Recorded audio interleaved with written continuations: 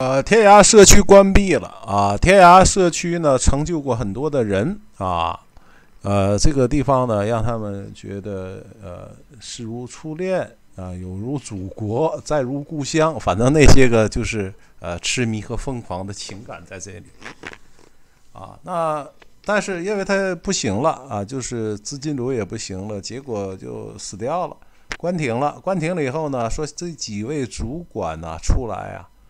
啊，再启动天涯啊！希望大家说捐款也行啊，关注也行啊。他们要把天涯社区再重新开起来。我看到这个东西以后，我本来对天涯这个不是很熟悉，是吧？我觉得这个有一定的难度。一个呢，天涯社区它的特点，我对天涯不熟悉，这是我想的嘛，就是那种发言的那种自由性。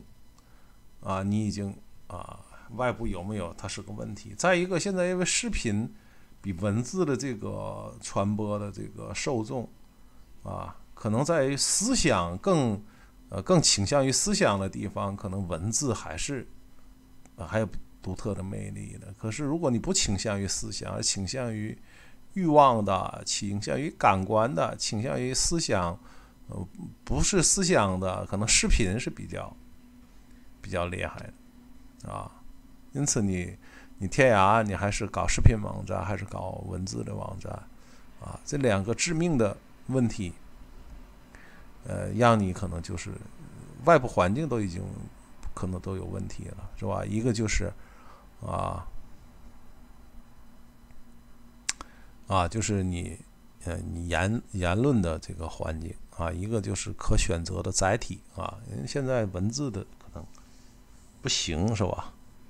那你已经让你们几个人把这个东西都干死了，你们还再出来啊啊！你当时你们在那个里面没有死的时候，你怎么不让它啊升升升起来的，是吧？如果你现在呃有想法说那个平台制约着你，你不是要创立一个新的东西，把这个东西要抛弃掉啊？所谓的呃没有忘记过去，人会死亡。还有一种状态，就只只惦记着过去，也是一种死亡，啊，就是大学同学聚会完了，高中同学聚会，高中同学聚会完了，初中同学聚会，初中同学聚会完了，就是小学同学聚会，小学同学聚会完了，幼儿幼儿园同学聚会，总算是聚会完了，是吧？这些个都聚会完了，就花了一个月的时间，啊，然后下一个月又重新一轮，又从大学同学聚会开始又来了。他永远活在过去，他觉得校园生活那时候青春、貌美、精力充沛啊，思想活泼，那是才是人生。这样的人已经死亡了，是吧？他只有过去啊。因此，我我我看这几个人出来，我就感觉这在透支而已，是吧？所以说，你像这个乔布斯啊，像马斯克，他总谈这个观点，让人很难接受，但。但他也是一个想法，是吧？没有乔布斯就说死亡是最伟大的一种呃创造啊，呃，那个马斯克说我不研究人的长寿，他说人就应该死，而且你要真的我给弄出来人要长寿的东西，往往都是让你讨厌的那些人这个受益，他就不死，你也受不到益，你该死的时候还是死，所以说这个最公平的啊，就是。就不要搞长寿那个事儿，到时间都死吧，有点那个意思啊。我们看看啊，三二一，开始。七天七夜重启天涯，奥利给往前，往前推点。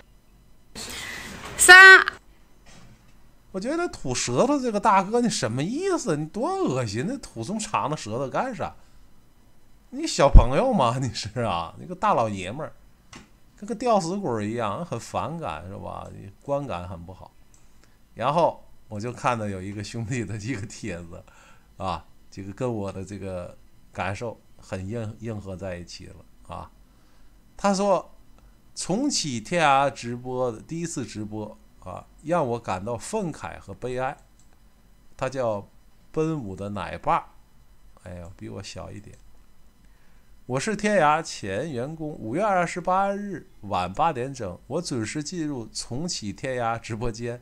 陆续看了半个小时，既愤慨又悲哀，啊，他就截了这个一些个人的评论，评论说他们没有导演，没有导播吗？没有运营吗？啊，说天涯已死，有事烧子，啊，C 九幺九成功飞呃飞成功了，天涯社区也能成功，加油！大家都是第一次，真的是不专业啊！镜头也太远了，只有一款衣服链接。既然要做直播，起码的专业一点儿也不也没有。不会请懂行的人行不行？他们都是业余的，为了重启天涯无奈而为，不是专业为带货主播，不要苛求。他们不看公平公平吗？啊，这些都是自发的，大家包容一下吧。其实开场的时候，下面就是不是截屏了啊？这位铁主的话，其实开场的时候就有一个小状况，声音没了，调试了几分钟后恢复，后面陆陆续续有一些不满，大概呃如下：镜头拉的那么远，应该拉近一些；要主要求主播多看镜头。第一，第二，上链接不及时，不带货；第三，主播不专业，导演不专业；第四。多跟网友互动，不要变成座谈会。第五，商品太少了，等等，还挺多毛病的被指出来，大部分的很合理。我自己觉得不好，比如商品太少了，我就买了两样，但有些嘛只能呵呵了啊。互联网环境如此，我就不开骂了。本次直播就没有一个专业的，并且我们这批网友、嘉宾、前员工基本不上抖音（括号后面 ID）。天水丫头刚注册连线，提示只能语音连线，露不了脸，大家都不懂怎么操作。括号在之前重启群里，我知道最年轻的是八九的，大部分都是为了重启天涯才才下载的抖音，包括也我也是为此才重启重新下载抖音。大家提到不专业，没错啊，我们是纯素人，为了这件事儿，两周内下载抖音。联合一帮中老年人做各种准备，短期内把店开起来，并且做到直播带货的标准，我认为不容易。甚至喊一声后，N 个群几千人就拉起来了，不想天涯关了。除了 P2P 维权的这号召力，其他的人能做到吗？如砍柴说的，他是自带干粮做这件事儿，为了兴趣，为爱发电。然而，目前的商业社会已经没有人看。这是对的，从评论里就可以看出一些浮躁的言论，非常可悲。仅以直播带货论，自然是做的不好，没什么好开脱的。但，但这是单纯直播带货吗？从来都不是。我们既不是天涯线员工，也不是为了赚多少钱。我们的家人都在心中，不在口头上。有评论说像座谈会，这个很自然。我们请的嘉宾，当着大家面前说起了天涯。哪个不是满满的故事？不想一吐为快。一个嘉宾让他说七天七夜都说不完，那是他生命中的十年、二十年。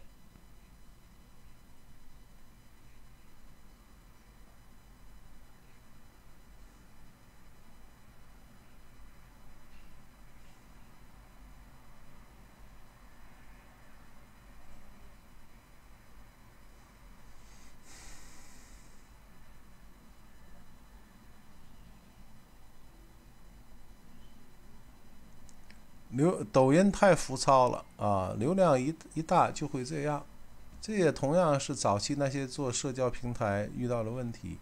无论天涯、知乎、B 站，情况差不多。从今晚抖音的流量和评论来看，天涯的草根精英，我编的属性跟抖音纯草根也是我编的，不相容。在十一点以后，不认识天涯的那些人基本离开了直播间。剩下的都是老人了，进入了夕阳红世界。我们知道抖音直播的规则，直播后还是很有天涯风。有人说学新东方，搞搞鸡汤，做人设，搞剧情，建议很好。然而这就不是天涯。个人觉得视频号直播可能比抖音更好，视频号相对更自由，而且没有那么多乱七八糟的设置，链接也简单。当然，这是我目前的感觉。